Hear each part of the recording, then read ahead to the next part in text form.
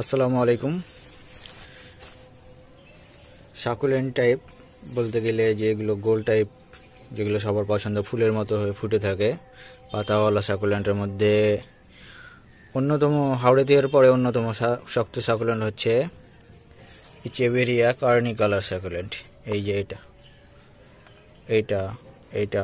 তো এখানে আমার তিন রকম আছে। এটা একটা আছে পিচ্চি, ছোট্ট এটা আর একটা জাত। তবে এটা বড় হচ্ছে না তাই বোঝা যাচ্ছে না। আর এটা একটা জাত, আর এটা একটা জাত।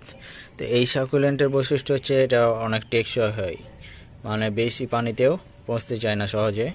মানে ড্যামেজ হয় না, পানি অনেক শোষণ ক্ষমতা বেশি, আর এরা অনেক শক্তপোক্ত হয়। আর মজার মজার বিষয় হচ্ছে, এটাতে অনেক সহজেই ফুল আসে। এই যে দেখছেন, এই ছোট্ট সাকুতে ফুলের স্টিক চলে আসছে।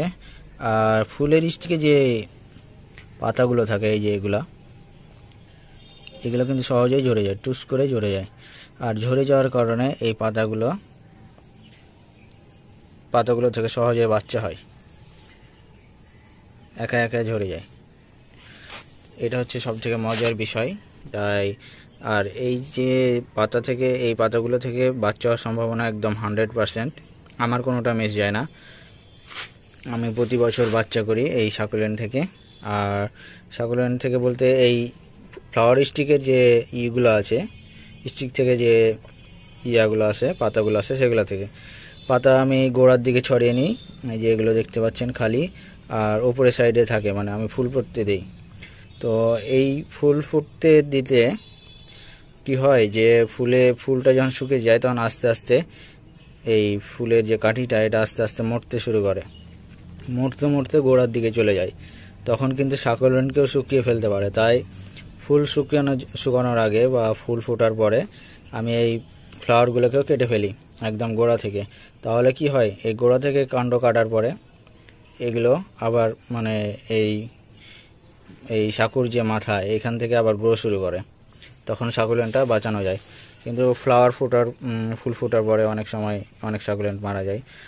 আর কার্নি কালারের হচ্ছে বৈশিষ্ট্য এটা যে অনেক বেশি বাচ্চা দেয়, নিজে থেকে আর পাতা থেকে অনেক বেশি বাচ্চা হয়।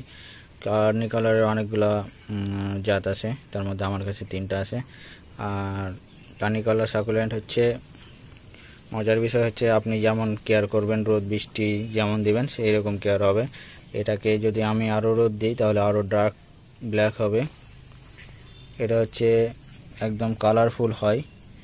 তবে বেশি পানি দেওয়ার কারণে হয়তো এখন কালার নেই। আর রোদ কম পেয়েছে হয়তো, এই জন্য এগুলোতে কালার নেই, কারণ এগুলো সব আমার ছিল বেবি ছাগলেন বড় হয়েছে। আর এটা তো বেবি নিয়ে এসেছিলাম একজনের কাছ থেকে। এটার পাতাটা দেখেন পাতা একটা মেট মেট ভাব আছে।